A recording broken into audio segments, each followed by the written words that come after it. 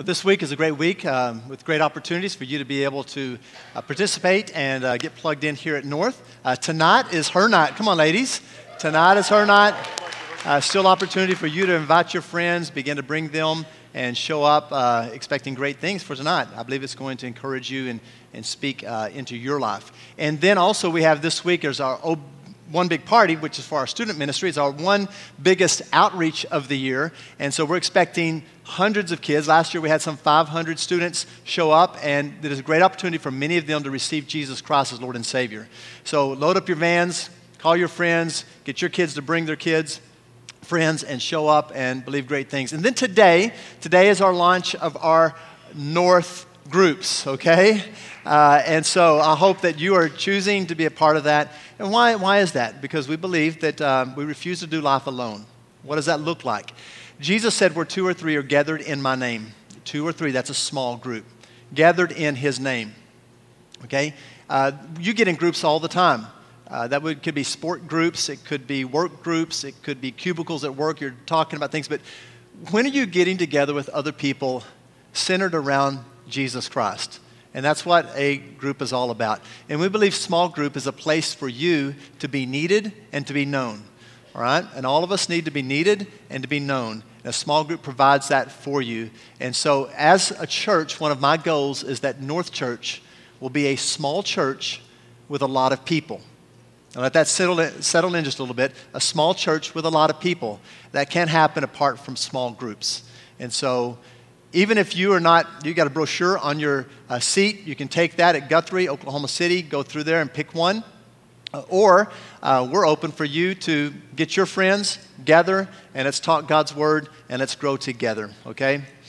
So today, we're continuing the series from the book of Ephesians, but we're actually having a new series today also. That may be confusing. Let me explain. Today, we're starting a new series called The Good Neighbor. And we're going to look at chapters 4, 5, and 6 in this series of the book of Ephesians. We've just wrapped up Ephesians chapter 1, 2, and 3 on going from death unto life. The first three chapters deal with the principles of our faith, and we're going to start today talking about the practical side of our faith. Would you stand with me and turn with me the book of Ephesians, chapter number four? If you don't have your Bibles with you, your digital device, you can look at the big screen in the sky and follow along uh, with the scripture reading. We're going to be covering a lot of scripture from verse 1 through verse number 16 today. So let's start with verse number 1, and we will also stop there too. It says, Therefore, I, a prisoner for serving the Lord, beg you to lead a life worthy of your calling. For you have been called by God. Just one more time, let's read it. Therefore, I, a prisoner for serving the Lord, beg you to lead a life worthy of your calling, for you have been called by God. Beg you to lead a life. Beg you. Sounds like a pastor's heart. Desiring the best for the people that he is shepherding and leading. I beg you to lead a life worthy of your calling, for you are called by God. What does that mean? Sometimes we think a life worthy is a life that's successful, correct? I, I think we do. There's certain things that you've put on what success looks like how much you get paid, promotions, people in your life, health, all those things are nothing necessarily wrong with them, but does it really equal a worthy life? Not necessarily. Matter of fact, Paul is writing this from prison. He says, Therefore, I, a prisoner for serving the Lord. Physically, a prisoner he was at the time. Now, in chapter number three, he also stated, I'm a prisoner. He wants you to know that. I think sometimes that uh, Paul is wanting to get us get across the understanding that sometimes your worth is not measured by your successes, it's measured by your obedience to the calling that God has placed before you. Is that you can be facing cancer and live a life worthy of the calling of God. You can be just now received your pink slip at work and lost your job, but be living a life worthy. I want to I want to sign up for a life worthy of the calling of God, right? Amen. Would you hold out your hands and repeat this after me? Say, Lord Jesus, give me the ears to hear what you have to say. Give me the faith to believe what you say. and give me the courage to obey what you say. It's in your name I pray. And everybody said a big amen. You may be seated. Uh, this week I was talking to a gentleman in the church that already knew this information that his mom had been diagnosed with a malignant tumor and would only have weeks and at best just a few short months to live. It was a big eye opener because she basically has been very healthy. She has been doing incredible. She is loving life. She is serving and working and all of those things. And, and to be all of a sudden a few headaches, go to the doctor and find out your stage four inoperable tumor was huge. But he touched my heart how he said his mom's responded. It's been a few weeks now, and she's starting to have some of those symptoms come more rapid. But how that she has said from the beginning, she said, You know what? God is good, and God's got this, and she's going to live her life worthy of the calling that God has placed before her. And when he began to tell me that, i I, t- I teared up and began to cry right there listening. And I also thought of another gentleman in our church named Ben Fuller. His wife Betty still attends our church, and he died several years back. But early on, 17 years ago, they just showed up out of the blue and began to attend North Church. And Ben touched my life because he was given kind of the same prognosis in regards to cancer with a very short lifespan. And I watched him die with the same grace in which he lived. He, he faced death with a joy unspeakable and full of glory, which encouraged me. And Ben touched my life in so many ways. And I was thinking this week about him because he lived a life worthy of his calling. And I thought of three ways in which he did. First off, Ben was a unifier, not a divider. Everywhere he went, he was unifying people, bringing peace and joy, not dividing people. Number two is that he used his gifts and calling that God had placed on his life to encourage and to equip every single person he met. He went around whistling everywhere he went, and he was a beautiful whistler. He went around offering joy to everyone. He had a gift of helps, he had a gift of leadership. He ended up serving as one of our elders in the church all the way up until his death. He used his gifts. And number three, Ben was always on an upward trend to growing to becoming more like Jesus. His goal in life was to see how much more he could become like Jesus. Even as he got older, he wanted to keep growing up and to the right. And as I was thinking about this and then reading from Ephesians chapter number four, I find some of those same principles that kept popping up on a life that is worthy. And so I want you to write this down in your notes because a life worthy or a worthy life is, first off, always striving for unity within the community of believers. Always striving for unity within the community of believers. Now, in the book of Ephesians, uh, Paul makes it very clear that, kind of, if you take an overview, Ephesians is about the unity of the body. Ephesians is about all these people around the world. Jesus has made one new people. If you go back to chapter 2 in the message I spoke a few weeks ago, basically he says there's now no Jew nor Gentile. Now, Paul points out that the strife, the disunity, and the lack of peace around the world has been because of the racial divisions, the nationality divisions, the ethnic division. And that tension in the human race is because people begin to feel more superior than others or they try to elevate themselves above other people, which Paul lays out is sin. And he says the solution for this is the gospel of Jesus Christ. That through Jesus Christ, now it's not about ethnic groups and it's not about nationality and it's not about, you know, skin color or tone of color or anything like that. It's about we are all now one new people in Christ Jesus. You say, oh no, Pastor, I'm just, No, no. He makes it very clear you're either Jew or Gentile, and now Jews and Gentiles are now all one under Christ Jesus. And in verse number two of chapter four, he begins to deal with the practical side of creating peace and unity in our lives. Look at verse two.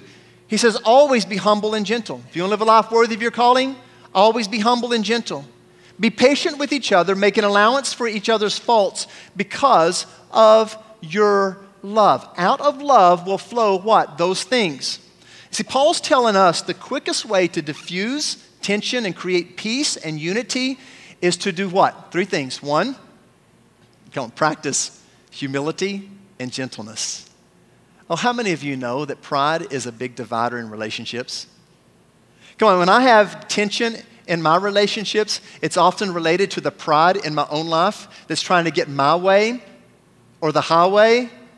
Oh, anybody tracking with me right now? But it is amazing what humility and gentleness will do to bring peace among a body, in a home, at work. And then he says patience, because each one of these build on each other. Because when you walk in humility and walk in gentleness, then patience comes in. Matter of fact, you learn how to understand people better and you're okay because you know your own weaknesses and you know your own failings and you are more patient with other people. And so he points that out. And then he says another word, forbearing. Now, it wasn't in what we read, right? Because in what we read was he basically said, all right, making allowance for each other's faults. But if you go to other translations like the NIV or maybe the New American Standard or others, it would use the word forbearing. So that was the third word that jumps out forbearing. It means you are very understanding. And because of the love that you have for people, you are going to do whatever you can to forgive and to work with them. Now, the book of Psalms, chapter number 131, David, he is the one speaking that chapter, and he has been anointed the king of Israel. Now, you got to understand what's happened is David has been on the run for the last 15 years of his life. Saul divided the country. There was a lack of peace in the country. David has ran and hidden in caves. And now Saul is dead, and he is appointed back as the king, okay, that he'd been anointed to do 15 years before. And he is anointed with oil at Hebron. And then he gets up and he says this to the people. Listen to these words. He says, How good and pleasant it is for brothers to dwell together in unity. It is like the oil that's placed upon Aaron's head that flows down his beard and across his garments. It is like the dew that's placed on Mount, falls down from Zion onto Mount Hermon. And he says, God's blessings and favor is there forevermore. You know what David is doing? David is again reuniting a country. He's speaking peace on a country. And he's saying if we can work together in unity, it is like the oil or the blessings of God falling from heaven that begins to make us fruitful, and God's blessings are forever on that place. How many want that? And you say, sign me up that for my home, my job, my life, and our church. Anybody? That's what David is doing. Look at verse number three. He says, Therefore, make every effort to keep yourselves united in the Spirit. Make every effort. Binding yourselves together with peace. For there is one body, one Spirit, just as you have been called to one glorious hope for the future. There is one Lord, one faith, one baptism, one God and Father of all, who is over all, in all, and living what? Through all. Do you get his point here? He said the goal is to be one, new people. The goal is that we do everything we can to create unity and the peace of God in our relationships. How do we do that? It's understanding our commonness. It's understanding our commonness as a people. What does that mean? First off, is this there are common convictions about Christ that we share that makes us one new people. Common convictions about Christ. That's dealing with who he is. Who is he? Who is Jesus? See, we're gathered here today. If you're a follower of Jesus, if you're not, that's okay. Set in, listen. Hopefully, you see the unity and the love among us that comes from all different backgrounds, all different tones of skin, all different economic backgrounds, all different nationalities, and you are encouraged to realize that that's what God really wants here on this earth. Who is He? The common conviction about Christ is this is that he's the son of God. he is the Son of a living God who stepped out of eternity into time, and that secondly, he lived a sinless life. And because he lived the sinless life, he is the first person ever that became qualified to be the substitutionary work on the cross of Calvary. In other words, he would atone for the sins that have happened to man years before. And so he stepped into my place and died for me. He stepped into your place and died for you. That's a common conviction we have.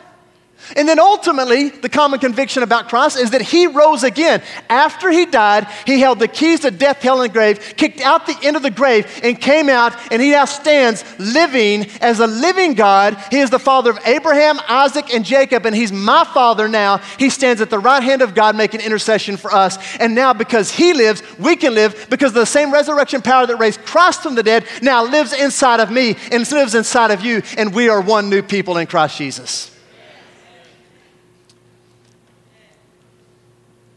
We also have a common confidence in Christ. This is who we are.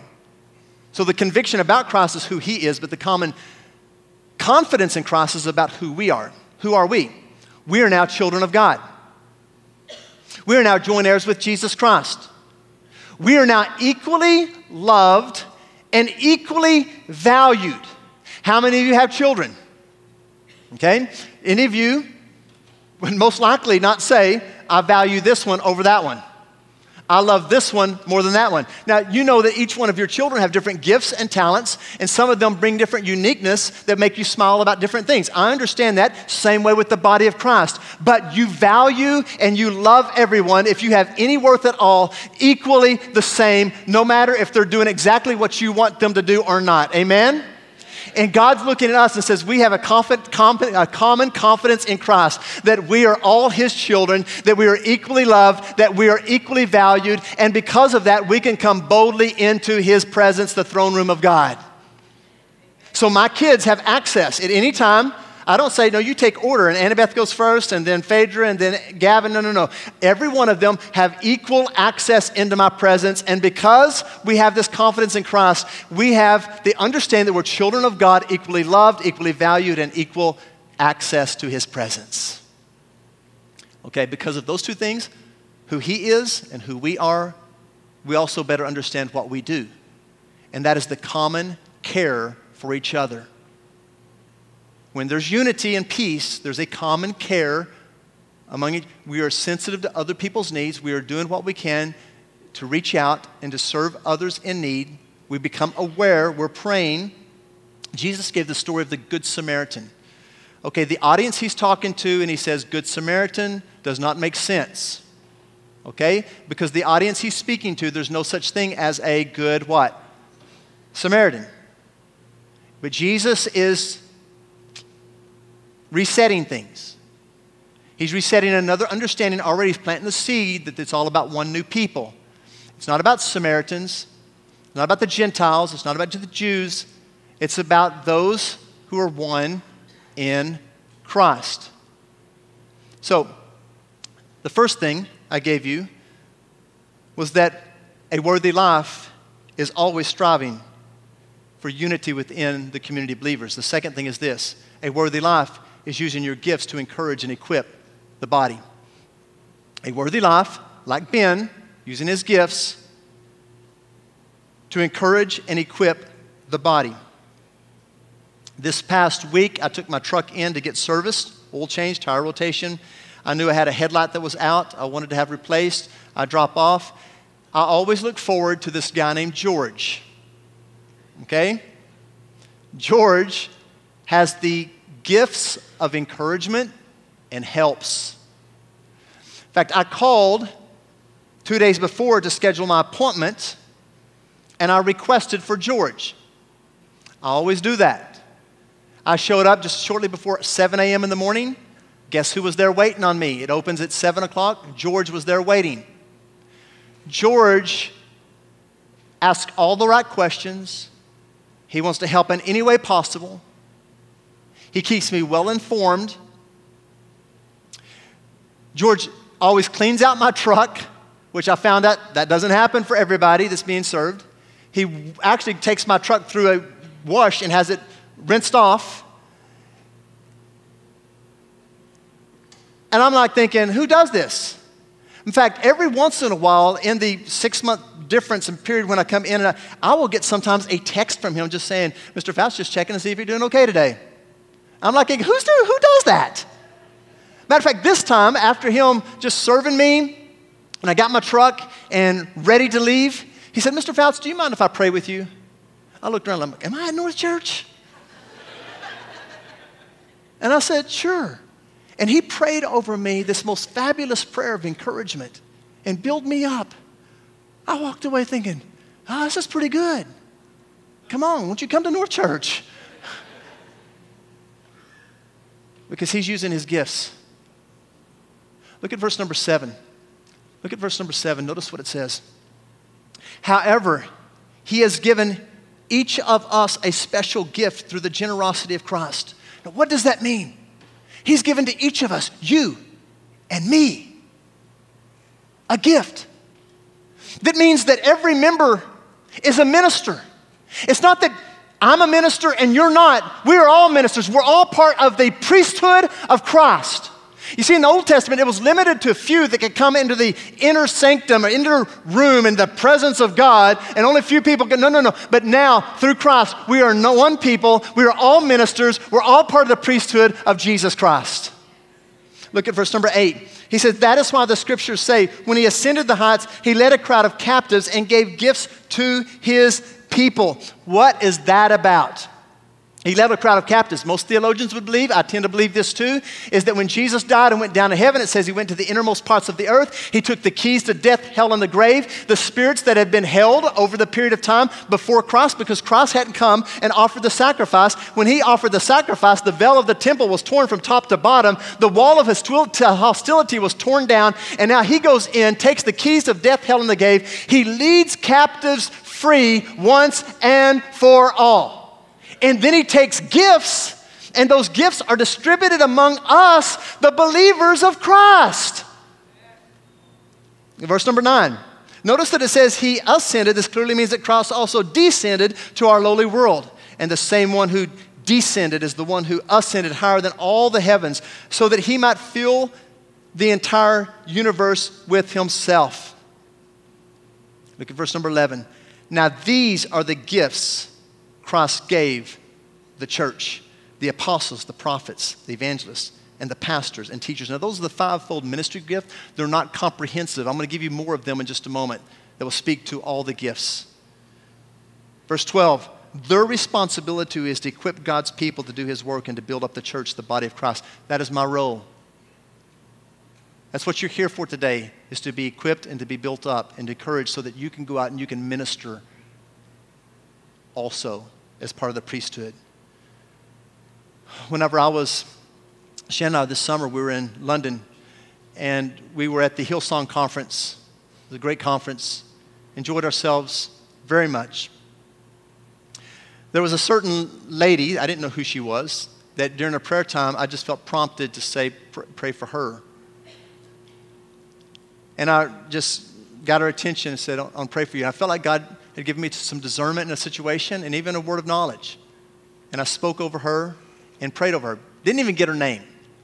This is months ago. This week, the church received an email that was asked to be forwarded to me, and it was this girl, which I learned of her name. I think she told me then, but I didn't remember. Her name's Hannah. And here's what she said in the email that she sent to me and to Shannon. She said, A couple of months ago, I met Pastor Rodney and Pastor Shannon very briefly at the Hillsong Conference in London. This young lady was from the Netherlands. There was a specific moment in the service where we prayed for healing. My mother and me both had the same heart condition, a condition that makes our heart muscle grow until it needs surgery because it blocks the outflow of blood. At the conference, there was a moment where we prayed for healing, and you prayed for my muscle in my heart. Last month, I had another ultrasound, and this morning, I heard the news that my muscle has decreased from 18 to 16 milliliters.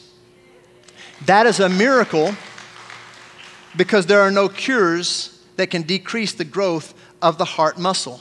On top of that, my mom hasn't experienced any arrhythmia over the last few months since the prayer. And I'm believing that this is a miracle. And thanks for stepping out and praying that afternoon for a miracle in my life. I believe it started and will continue to be rolled out in our life.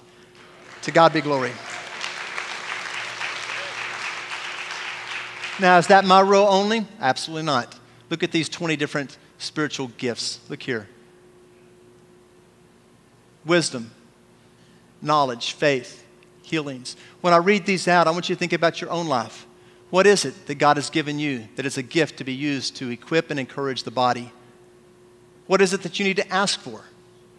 Discernment, apostle, teaching, helps, administration, evangelism, pastor, encouragement, giving, leadership, mercy, hospitality, tongues, interpretation tongues, prophecy. What is it? What is it? I believe that there's gifts that God has laid upon individuals' lives that are much more permanent. I also believe that some of them are for specific moments. Does that make sense? That sometimes God moves on me with certain things for that moment that is needed in that situation. Several years back, I saw a billboard that was of Michael Jordan and shot, and it said this You miss 100% of the shots you never take. For some of you listen to me right now, you've put your gifts up on a shelf and you're not using them again. And God is calling you by the Holy Spirit to pull those gifts back off and start using them one more time for the body of Christ. Why do we have groups? Why do we have groups? Come on, to have unity and peace in the group. Why do we have groups? So that you can use your gifts to pray for people, encourage people, and build people up. I, I love to hear, there's nothing I love more to hear how that God is using individuals with the gifts of the Spirit in their groups and at work in different places to bring glory and honor to God. But remember this remember this about your gifts. Don't mistake gifts for godliness. And don't let your charisma outrun your character. Stay focused on who it is all about. It's about Jesus and bringing glory to Him. Amen? Bringing glory and honor to Him. So, the third thing is this a life, a worthy life is thirdly, emotionally and spiritual maturity that looks more and more like Jesus. A worthy life is emotional and spiritual maturity that looks more and more like Jesus. Ultimately, the goal, folks, is Jesus. It's Jesus. Look at verse number 13. It says, This will continue until we come to such unity in faith and knowledge of God's Son that we'll be mature in the Lord, measuring up to the full and complete standard of Christ. What will continue? The unity, working together, the using of our gifts to encourage and build people up, Look at verse 14. Then we will no longer be immature like children. Notice that Paul says we will no longer be immature. Paul, who wrote most of the New Testament, is stating that also he can be immature. How many know that all of us can be immature like children at times? With our roommates, with our parents, with our spouses, with people we work with, with people in the church. All of us can be immature. But here, here's the go we won't be tossed and blown about by every wind of new teaching. We will not be influenced when people try to trick us with lies so clever that they sound like the truth. I don't want to be a spiritual baby, do you? Uh, our, our, grandson Gideon is, is he, he has two teeth already. okay, month four, right at the end of month four, he had two teeth break through. And uh, just the 10th of this month, he turned five months old. And so, you know, sometimes as a mom, it's really, you know, taking care of babies a lot. Uh, how many knows that though when they're before they start walking and crawling, if they're crying, you can still walk away. But after they start crawling and walking, it's like eyes on all the time, right? When, when our kids, I remember one of them specifically that was in diapers, moving around, just probably about a year and a half old. Um, we noticed that these plugins that we were placing around the house to make it smell good in the house because we'd have people come over quite often. We entertain a lot. Uh, all, they were running dry quick. They're supposed to be lasting like a week and a half or two weeks, and they're like running dry. And we couldn't figure out what was going on uh, until one day we caught one of our kids over there at one of those plug ins with their mouth to the bottom of it, sucking all of the smell good out of the bottom. It did make for better smelling diapers the next thing we're dealing with is poison control. Like cause them, they're going to die. we're calling poison control, and you know, they point out, no, no, the FDA has approved all that stuff because there's been kids before us that have done those type of things. Okay? But Paul points out here that spiritual babies, get this, this is important to understand. They're not discerning, they're self centered, and they're wishy washy. First off, they're not discerning. I- am hoping that your discernment level of spiritual gifts, the presence of God in your life, will go to a whole other level. While you're meant to come to God as a child, as a baby, you're not meant to stay a spiritual baby. You're meant to grow. And babies that are not discerning are easily influenced and follow the crowd, and they're unaware of the dangers that are before them. Did you hear me? I want you to grow up in Christ. Spiritual babies are self centered. It means me first. I want it my way or the highway. I, I, I want my style of doing things. I, I want to show up and, you know, you do it. No, no. And also, you can't handle critique. When you're self centered, you cannot handle. And so, therefore, we stay closed off to a group. I can't go to a group because if I go to a group, I got to open up. And I, that makes me feel uncomfortable. That uncomfortableness really speaks to the issue of spiritual maturity because we're called to open up so that others can be a part of critique. I was thinking about this in regards to, you know, athletes. How can you imagine any athlete rising to the top of their game without being a part of a small group, a team, and coaches speaking into their life? No, they open themselves up to the critique, and those who can handle it are the ones who rise to the highest level. That's what we should be doing spiritually and emotionally is rising to the level. That means we got to open up to others and not be self-centered and wishy-washy. In other words, I've got to be entertained. And we live in a culture where we, we're consumers. We're consumers. What can I get out instead of contributors? And so we're going to be at this church until, you know, the pastor is no longer making me feel good, or there's a better speaker down the road, or the lights are better, and it's more excitement down there. Then I'm going to run over to this place, and I'm going to have fun here for about a year or two. And then, like, they get old, and I'm going to run to somewhere else. And really, who is the spiritual baby? It is us who are wishy washy running around everywhere. Instead of getting into the body and say, How can I help grow me in this body? And then also, when we hear God's word and we walk out and we do nothing with it and we leave it here, how many of you before have felt the prompting of the Spirit to act upon something and you walk out and leave what God spoke here in the church? What that speaks to is wishy washy. I love that word, wishy washy. I made it up for today. Look at verse number 15.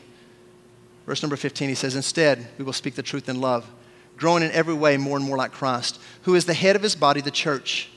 Notice says we'll speak the truth in love. He makes the whole body fit together perfectly as each part does its own special work. It helps the other parts grow so that the whole body is healthy and growing and full of what? Full of love. Full of love.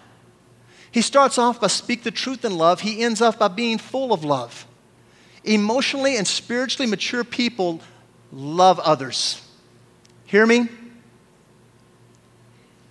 If there's disunity and lack of peace, it speaks to you can't control them. Now, what I'm saying is that if they want to create unity, disunity, and lack of peace, you can't control them, but you can control your response to them. Anybody listen to this? John said this if someone says, I love God, but does not get along with their brother, they're a liar. For if you don't love people who you can see, how can you love a God? Who love people who you can see, how can you love a God who you can't see? You can't do it, folks. That's pretty straightforward. And because you love people, spiritually and emotionally mature people value others the way God valued people. And then finally, you understand your need for other people. I've been around people before, like, they're God's gift to the world. They're mature and spiritual. Pastor, I have something to offer. Usually it speaks to the really spiritual babies and just don't realize it. They may know a lot of scripture, they may have a lot of experience in ministry, but truly, emotionally, and spiritually mature people understand that everybody Everybody can, they can learn from somebody today. And they don't come around haughty and I've got all the, knowledge and information and I can just bless everybody. No, no, you come in humble, humble. Some of the greatest athletes in the world, it amazes me after a game or after a big victory, they'll interview them, and some of the most humble ones, they'll look at the camera and say these words and say, I got to get better. They don't deal with their opponent as much as like, it's about me getting better. It's about me getting better. The reason why they've gotten to the top is because of this understanding that it's not about them, it's about me getting better. Getting better. It's not about comparing myself to them, it's about comparing myself to where I can be. As a follower of Jesus Christ, true spirituality is measuring up to Christ, not other people. True spirituality is looking inside of you and realizing that the closer you get to Christ, the more you realize you need Him and the further you are from Him. And that there's more God can do in me. Remember that little song as a kid? Took him just a week to make the moon and the stars, Jupiter and Mars. But God's still working on me because you're His greatest project. Amen? Amen. Eyes closed, no one looking around. Holy Spirit is here, first off, to save lives. If you're here and you need Christ as your Lord and Savior, maybe you don't know Him as your Savior. What does that mean? It means that all of us, and you know inside of you that God has placed eternity in your hearts, and that you're undone, that you're not complete. You will not be complete apart from Christ. You can add whatever you want into your life, it's not going to make you complete. And if you try to make Jesus just another part of your life, you're sadly mistaken too. He must become Lord of all, or he's not Lord at all. It means that you humbly submit and realize that I'm a sinner in need of a Savior. Jesus, you're my answer.